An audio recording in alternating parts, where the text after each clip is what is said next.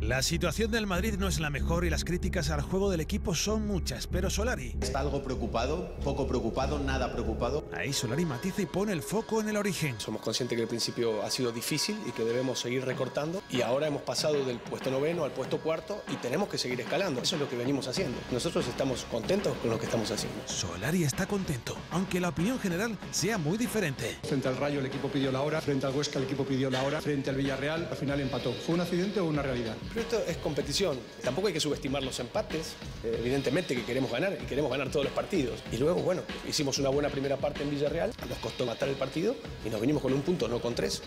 Pero bueno. Pero bueno, Solari no quiere subestimar el punto de Villarreal ni el rendimiento de su equipo en Liga. Porque su equipo es un equipo inconsistente en la Liga, pero fiable en la Champions y en el Mundial de Clubes. Mira, los jugadores no son máquinas. No, no es que los, los puedes enchufar y recargan inmediatamente, es, eh, es duro. Y ahí Solari defiende a su equipo con nombres y sacrificios. Bale jugó todo el segundo tiempo en Vigo con un tobillo hinchado. Karim es uno de los jugadores más generosos que conozco. Lucas Vázquez hace 14 kilómetros por partido. Carvajal tiene un corazón enorme. Modric tuvo 39-4 de fiebre y sin embargo jugó contra el Villarreal. El nivel de compromiso es absolutamente innegable, sin lugar a duda. Sin lugar a duda, pero contra la Real mañana hará falta de nuevo el mismo compromiso. Sin duda algo más de juego y sin duda un mejor resultado.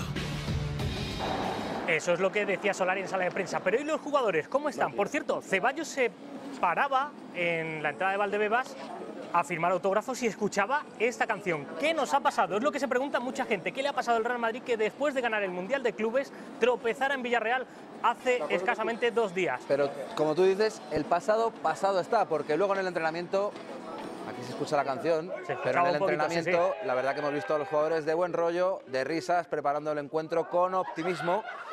Y bueno, de hecho tenemos un hombre que ha estado viendo el entrenamiento minuto a minuto y metro a metro para explicarnos cómo ha sido. Ahí veíamos a Sergio Ramos bromeando con los compañeros.